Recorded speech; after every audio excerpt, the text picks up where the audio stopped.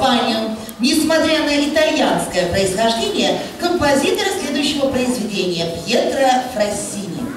С раннего детства он испытывал проблемы со зрением, однако это не помешало ему стать известным аккордеонистом и начать сочинять музыку уже в возрасте 10-12 лет.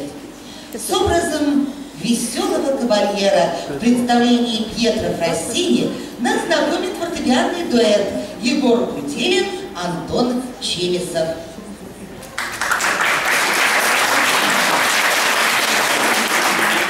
Преподаватели Елена Ивановна Ушакова, Ольга Евгеньевна Коленцева. Едва ли есть на свете еще такой же франт. Наш кавальера ветер, веселый ветер Ант. На нем подарок неба, шар серо-голубой.